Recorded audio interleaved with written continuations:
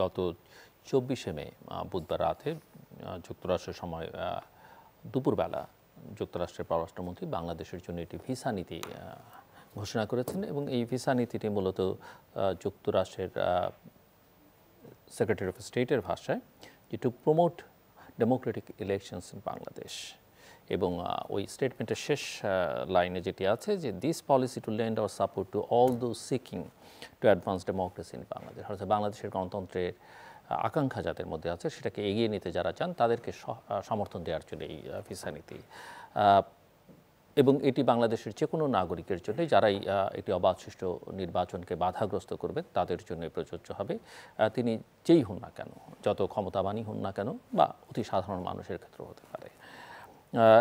এই নীতি নিয়ে গত দুদিন ধরে আমরা নানা রকমের প্রতিক্রিয়া নানান মহল থেকে দেখতে পাচ্ছি।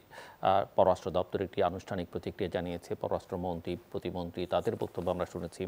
অন্যান্য রাজনৈতিক দলগুলোর কথা শুনেছি। মার্কিন পররাষ্ট্র মন্ত্রণালয়ের কথা তো আমরা আগেই শুনেছি। পররাষ্ট্র মন্ত্রী, সহকারী পররাষ্ট্রমন্ত্রী তাদের বক্তব্য আমরা শুনেছি। তৃতীয় মাত্রায় সহকারী পররাষ্ট্রমন্ত্রী বক্তব্য শুনেছি- এবং মার্কিন দূতাবাসও এই বিষয়ে তাদের যে বক্তব্য সেটি দিয়েছেন মার্কিন রাষ্ট্রদূত পিটার হাস রাজনৈতিক দলগুলো তিনটে প্রধান রাজনৈতিক দলের নেতৃবৃন্দের সঙ্গে বৈঠক করেছেন। সেখানে তারা তাদের অবস্থান জানিয়েছেন তারা চান মূলত এই ভিসা নীতি এর প্রভাব প্রতিক্রিয়া আগামীতে একটি বাংলাদেশে ভালো নির্বাচন করবার ক্ষেত্রে কি আহ, প্রভাব এর উপর এর পড়বে কিংবা এর উদ্দেশ্য কী? সেসব বিষয় নিয়ে আমরা কথা বলবার জন্য আমার সঙ্গে স্টুডিওতে রয়েছেন বাংলাদেশ সরকারের সাবেক পররাষ্ট্র সচিব তহিদ হোসেন এবং আমার ডানে রয়েছেন সুশাসনের জন্য নাগরিক সুজন সম্পাদক ডক্টর বতিল আলম মজুমদার। স্বাগত আপনাদের দুজনকে। তৃতীয় মাত্রায় আমি তহিদ হোসেন, আপনার কাছে একটু শুনতে চাই যে যুক্তরাষ্ট্রের জন্য আপনি কি মনে করেন যে বাংলাদেশের এই নির্বাচন এত গুরুত্বপূর্ণ কেন? এবং গত বেশ কয়েক মাস ধরে তারা ক্রমাগতভাবে এখানে ওয়াশিংটনে বা নিয়মিত যারা ডেলিগেট যুক্তরাষ্ট্র থেকে আসছেন, বাংলাদেশ থেকে যখনই বাংলাদেশ পররাষ্ট্রমন্ত্রী বন্ধু যাচ্ছেন, তারা ক্রমাগতভাবে কনসিস্টেন্টলি অবাধ গ্রহণযোগ্য নির্বাচনের কথা বলছেন প্রেস ফ্রিডমের কথা বলছেন ফ্রিডম অফ এক্সপ্রেশনের কথা বলছেন হিউম্যান রাইটসের কথা বলছেন লেবার রাইটসের কথা বলছেন এবং এটি অতীতে কখনো দেখা যায়নি যে এই রকম ক্রমাগত এবং একুশে ডিসেম্বরের স্যাংশন গত কয়েক সপ্তাহ ধরে তো বাংলাদেশের স্যাংশন আসে আসে আসে আসে হবে কি হবে না করতে করতে এই যে একটা ভিসা নীতি আপনি আপনি আপনার বিশ্লেষণ শুনতে চাই আমি একটু আপনি কীভাবে দেখেন ধন্যবাদ। আসলে এটা তো স্যাংশন নয় আমরা জানি। জি। এটা কিন্তু স্যাংশন নয়। একটি পরিবর্তনের বিষয়ে আমাদেরকে এখানে আমি মনে করি যে এখানে বিবেচনায় নিতে হবে। সেটা হলো যে মার্কিন যুক্তরাষ্ট্রে দু হাজার বিশের নির্বাচনের পরে যে সরকার পরিবর্তন হয়েছে এটার কিছুটা কিন্তু প্রভাব আছে এই জিনিসগুলোর মধ্যে। সেটা হচ্ছে যে রিপাবলিকান দল এবং ডোনাল্ড ট্রাম্পের তুলনায় ডেমোক্রেটরা আসলে কিন্তু বৈশ্বিকভাবেই গণতন্ত্রকে প্রমোট করতে চায় সব সময় দেখা গেছে এটা। এমন নয় যে রিপাবলিকানরা চায় না কিন্তু বিশেষ করে জনাব ট্রাম্পের চারিত্রিক বৈশিষ্ট্যের কারণে ওই জিনিসটা কিন্তু চাপা পড়ে গিয়েছিল। তিনি তো প্রমাণই করেছেন যে এমনকি মার্কিন যুক্তরাষ্ট্রের গণতন্ত্র নিয়েও তিনি কনসার্ন না। কাজেই বাকি বিশ্ব নিয়ে কনসার্ন হবেন কেন? সে তুলনায় ডেমোক্রেটিক পার্টি এবং বর্তমান প্রেসিডেন্ট বাইডেন ওনারা চান যে আসলে একটা গণতান্ত্রিক পরিবেশ আসুক। এটা হলো একটা সার্বিক তারা বলছেন যে তাদের ফরেন পলিসির হ্যাঁ, এখন প্রধান ফোকাস হচ্ছে এটি। ফোকাসের এখন এটা হলো একটা সার্বিক সমস্ত বিশ্বের জন্য একটা বিষয়। কিন্তু বিশেষ করে বাংলাদেশকে নিয়ে, বাংলাদেশের আগামী নির্বাচন নিয়ে এই তৎপরতা, এটা তাহলে আমরা আলাদাভাবে একটু বিবেচনা করতে হবে আমাদের। বাংলাদেশের এই নির্বাচনকে যে কোনো কারণে হোক, মার্কিন যুক্তরাষ্ট্র চাচ্ছে যে এখানে একটা সঠিক নির্বাচন হোক। এখন এটা নিয়ে কেউ সরাসরি বলুক বা না বলুক, আমরা জানি, আমরা যারা বাংলাদেশের মানুষ, আমরা জানি যে আমাদের পূর্ববর্তী দুটি নির্বাচন আসলে মানসম্মত হয় নাই। এটা আমরা জানি সবাই। এটা এমনকি আমাদের যে বন্ধুরা আওয়ামী লীগ করেন, তারাও স্বীকার করেন সরাসরি যে এটা আসলে মানসম্মত নির্বাচন বলতে যা বোঝায় সেটা হয় নাই। এখন সরকারকে অনেক ক্ষেত্রেই তো আপনার একটু ব্রেভ ফেস দেখাতেই হয়, কারণ সে- কারণে তারা হয়তো অনেক কিছু বলেন তারাও জানেন যে আসলে নির্বাচনটি তো যেরকম হওয়া উচিত সেটা হয়নি। এখন একটি সঠিক নির্বাচন যদি কেউ চায়, তাহলে সেটা নিয়ে কীভাবে যে এগোতে হবে, এটা তো আসলে আমরা খুব ভালো জানি না সবাই। এখন কারণ নির্বাচন যে প্রক্রিয়াটি, এটা আমরা সবাই জানি যে এটা অনেকে ইনভলভ থাকে। এটা তো শুধু শুধু সরকার না, আবার শুধু সরকারের বিভিন্ন প্রতিষ্ঠান, বিভিন্ন ব্যক্তি, সবাই মিলেই এই জিনিসটাকে করতে হয়। এবং এমন একটা বিশ্বাস দাঁড়িয়ে গেছে যে আসলে নির্বাচনী ব্যবস্থা যে একটা পরিস্থিতির সৃষ্টি হয়েছে সেটা ঝট করে পরিবর্তন হয়ে যাবে না। এরকম একটা বিশ্বাস কিন্তু সাধারণ মানুষের মধ্যে আসে আছে। যে কারণে অনেক ক্ষেত্রে এই নির্বাচন বিমুখতাও কিন্তু বা ভোট টানে অনীহা এটা কিন্তু দেখা গেছে মানুষের মধ্যে অনেক ক্ষেত্রেই। কিন্তু মার্কিন যুক্তরাষ্ট্র এটা নিয়ে এত কেন উদ্গ্রীব? এটার একটা কারণ এখন আমরা যদি ভূরাজনৈতিক পরিস্থিতি বিবেচনা করি সেখানে হয়তো এটার একটা একটা হিন্ট হয়তো আমরা খুঁজে পেতে পারি। সেটা হলো যে এই অঞ্চলটি এক ধরনের ইনস্টেবিলিটি কিন্তু সৃষ্টি হয়েছে মিয়ানমার একটা বড় কারণ। কিছুটা ধরুন যত কিছুই বলা হোক না কেন ভারতের উত্তর পূর্ব এখনও তো পুরোপুরি শান্ত না। কিছু সমস্যা এখনও রয়ে গেছে। সাম্প্রতিককালে খানিকটা তো আমাদের দেশেও দেখা গেল যে কুকি চীন যেটা অত্যন্ত ছোট্ট একটি জাতিগোষ্ঠী তারাও কিছু অপকর্ম করেছে। তো সব মিলিয়ে বিশেষ করে মার্কিন যুক্তরাষ্ট্রের জন্য গুরুত্বপূর্ণ হচ্ছে যে চীনের অবস্থান।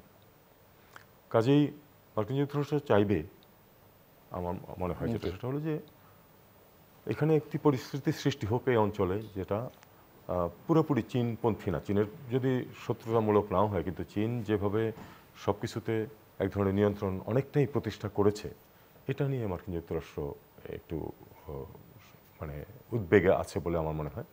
এবং সেক্ষেত্রে বাংলাদেশ বেশ একটা গুরুত্বপূর্ণ অবস্থানে ওই পয়েন্ট অফ ভিউ থেকে আমি মনে করি যে বাংলাদেশ বেশ একটা গুরুত্বপূর্ণ অবস্থানে আছে। বাংলাদেশ এখানে- জাস্ট আমি একটু ইন্টারাপ্ট করি চায়নাকে কন্টেন্ট করবার জন্য তো এখন পর্যন্ত দৃশ্যত ইন্ডিয়া তার জন্য আছে। এবং ইন্ডিয়া এখানে বাংলাদেশের যে রিজিম এখন তারা তো প্রকাশ্যেই এক ধরনের সমর্থন আছে। বাংলাদেশ সরকারও মনে করে যে তাদের সেই বন্ধুতার সম্পর্কটা আছে। অকৃত্রিম বন্ধু। তা আছে। কিন্তু কাজে ইন্ডিয়া যখন এই একটা জিনিস আপনারা খেয়াল করবেন এবং বিগত নির্বাচন দুটোকেও তারা যেহেতু সম এন্ডোর্স করেছে সেক্ষেত্রে মানে আমি মার্কিন যুক্তরাষ্ট্র আসলে এখানে দু তিনটা বিষয় আছে। এক হলো যে দেখুন গত বেশ কিছু দশক ধরে কিন্তু বাংলাদেশের অভ্যুদয় বা তার কিছুদিন পর থেকেই পশ্চিমে এক ধরনের একটা টেন্ডেন্সি ছিল যে বাংলাদেশকে ভারতের চোখ দিয়ে দেখা। এত সময় বা এত মানে প্রচেষ্টা ব্যয় করা তাদের সুযোগ নেই। ভারত যেভাবে দেখতেছে ভারতের সাথে তাদের ভালো একটা সম্পর্ক ছিল সেভাবেই দেখা যায় বাংলাদেশ হচ্ছে এই। সেটা প্রথমত বাংলাদেশ আজকে থেকে বিশ বছর আগের তুলনায় অনেক বেশি গুরুত্বপূর্ণ অনেক দিক থেকে। আপনি অর্থনীতি বলুন বা জনসমষ্টি বলুন অনেক বেশি গুরুত্বপূর্ণ। সে, সেক্ষেত্রে এটা একটা জিনিস, দ্বিতীয় হলো যে বাংলাদেশের গুরুত্ব পাওয়ার কারণে পশ্চিম কিন্তু এখন বাংলাদেশকে একটি এন্টিটি হিসাবে দেখে। অন্তত আমার অনুভূতিটা তাই, যেটা আগে ছিল না। সেক্ষেত্রে তারা চাইবে যে শুধু ভারতের যে বন্ধুরাষ্ট্র বাংলাদেশ কাজে বাংলা- ভারতের সাথে যদি ভালো সম্পর্ক থাকে তাহলেই চলবে আর কিছু লাগবে না। এটা থেকে মনে হয় তারা একটু বের হয়ে আসছে। তারা বাংলাদেশকে বাংলাদেশ হিসাবেই একটু ঘনিষ্ঠ বন্ধুত্বপূর্ণ দেশ হিসাবে দেখতে চাইছে। আরেকটি বিষয় সেটা হলো যে ভারতের সাথে আজকে যেই ইকুয়েশন পশ্চিমের সেটা চিরদিনই যে একই রকম থাকবে তা তো নয়। আমি বলছি না যে তারা সত্যতা পূর্ণ হয়ে যাবে তা না। কিন্তু খেয়াল করে দেখুন রাশিয়ার উপর যে তেল নিষেধাজ্ঞা ভারত কিন্তু সেটা একেবারেই পশ্চিমের সাথে নেই। নেই। বরং তেল নিষেধাজ্ঞা থেকে ভারত বেনিফিটেড হচ্ছে লাভ উঠিয়ে দিচ্ছে। কাজেই ভারতকে ঠিক একশো পার্সেন্ট রিলায়েবল ফ্রেন্ড হিসাবে তো পশ্চিম পাচ্ছে না। হোয়ার বাংলাদেশ তার অবস্থানের কারণে এবং যেহেতু তুলনামূলকভাবে ছোট অনেক ছোট পাওয়ার তার সাথে বন্ধুত্ব কিন্তু অনেক বেশি ঘনিষ্ঠ এবং অনেক নিশ্চয়তা সহ করা সম্ভব। এটা একটা কারণ হতে পারে। এই কারণেই আমার মনে হয় যে তারা চাচ্ছে যে এখানে এমন একটি সিস্টেম প্রতিষ্ঠিত হোক যাতে করে স্টেবিলিটি থাকে। একটা জিনিস আমাদের মনে রাখতে হবে যে স্টেবিলিটি এবং স্থবিরতা কিন্তু এক জিনিস না। কাজেই এই জিনিসটাকে মানে আলাদাভাবে দেখতে হবে। আমার বিশ্বাস পশ্চিমবঙ্গ এটাকে আলাদাভাবে থাকে তারা চায় যে এখানে সত্যিকারের একটা স্টেবিলিটি প্রতিষ্ঠিত হোক যাতে করে এই দেশটা এগোয় এবং তাদের বন্ধু থাকে। জি ডক্টর বদুল আলম মজুমদার তো অনেক ধন্যবাদ। তা উনি বিশেষজ্ঞ এইসব ক্ষেত্রে তো আমি ওনার সাথে একমত যে বাংলাদেশের এবং এটা তো বাস্তবতা মার্কিন যুক্তরাষ্ট্রের জন্য গণতন্ত্র গণতান্ত্রিক শাসন সারা বিশ্বে এটা তাদের তাদের পররাষ্ট্রনীতির একটা গুরুত্বপূর্ণ স্তম্ভ হিসেবে দাঁড়িয়েছে। অতএব বাংলাদেশ নয়, শুধু অনেক দেশেই গণতন্ত্র প্রতিষ্ঠিত হোক, সারা বিশ্বে গণতান্ত্রিক শাসন প্রতিষ্ঠিত হোক, এটা তাদের আকাঙ্ক্ষা এবং এই বাইডেন প্রশাসন সেটাই করার চেষ্টা করছে, এবং তারই একটা অংশ হিসাবে বাংলাদেশে একটা গণতান্ত্রিক শাসন, একটা সুষ্ঠু নির্বাচনের মাধ্যমে জনগণের সম্মতি শাসন প্রতিষ্ঠিত হবে, এটাই কাঙ্ক্ষিত। আরেকটা হলো উনি বলেছেন অবশ্য, আমিও এই বাংলাদেশ বাংলাদেশের ব্যাপারে আগ্রহ হলো কারণ বাংলাদেশ গুরুত্বপূর্ণ। তাই তারা বাংলাদেশের প্রতি গুরুত্ব দিচ্ছে। বাংলাদেশ গুরুত্বপূর্ণ উনি বলেছেন যে অর্থনৈতিকভাবে আমরা মানে আমি আমি যে বিষয়টা আপনার কাছে শুনতে চাই যেহেতু আপনি নির্বাচনে দীর্ঘদিন যাবৎ বাংলাদেশে কাজ করছেন নাগরিক সমাজের একজন সামনের সারির মানুষ হিসেবে এবং এখানে সিভিক স্পেসের অবস্থা কি সেটি নিয়েও আপনার মতামত আমরা নিয়মিতই দেখি। এই ভিসা নীতি আসলে পরিস্থিতি পরিবর্তনে কোনো ভূমিকা রাখবে কিনা বা রাখলে কি ধরনের ভূমিকা রাখতে পারে বলে আপনি মনে করেন? তো আরেকটা কথা একটা সেন্টেন্স বলতে চাই যে এর যদি সুষ্ঠু নির্বাচন না হয় যে মানুষের অস্থিতিশীলতা যদি এর মাধ্যমে অস্থিতিশীলতা অস্থিতিশীলতা সৃষ্টি হতে পারে হয়েছে অনেকটা। এবং এটার থেকে কিন্তু উগ্রবাদ এগুলোর কিন্তু ওই যে বিস্তার ঘটতে পারে। এবং যেটা শুধু আমাদেরকেই এটার প্রভাব, আমাদের উপরে প্রভাব পড়বে তা নয়, সারা বিশ্বের প্রভাব পড়বে। তো এই ব্যাপারেও তারা তারা শঙ্কিত। এবং এই এই জন্যেই তারা বাংলাদেশে যাচ্ছে একটা গণতান্ত্রিক শাসন প্রতিষ্ঠিত হোক। এখন যেই যেই ভিসার ব্যাপারে তাদের যে যে ভিসা দেওয়ার ব্যাপারে তারা এই এই ইনস্ট্রুমেন্ট ব্যবহার করে, এই হাতিয়ার ব্যবহার করে বাংলাদেশে একটা গণতান্ত্রিক শাসন, একটা সুষ্ঠু নির্বাচন নিশ্চিত করার যে প্রচেষ্টা, এটা আমার মনে হয় এটার সুদূর প্রসারী প্রভাব পড়তে পারে। এবং আমি আনন্দিত যে আমাদের সরকারি দল এটাকে স্বাগত জানিয়েছে নানা ভাষা ব্যবহার করে। তারা এটাকে ইতিবাচক হিসেবে দেখছে। এবং বিরোধী দল এটাকে স্বাগতই জানিয়েছে। তো আমি মনে করি এটা একটা বাট আপনি আপনি আপনি কি মনে করেন ঘোষণাটা আসলো বুধবার রাতে কিন্তু এই চব্বিশ তারিখ রাতে এই ঘোষণার যে আসবে বা এই সিদ্ধান্ত যে যুক্তরাষ্ট্র নিয়েছে সেটি বাংলাদেশ সরকারকে নোটিফাই করা হয়েছে জানানো হয়েছে মে মাসের তিন তারিখে। আমরা এর মধ্যে কিন্তু অনেক রকমের প্রতিক্রিয়া দেখেছি।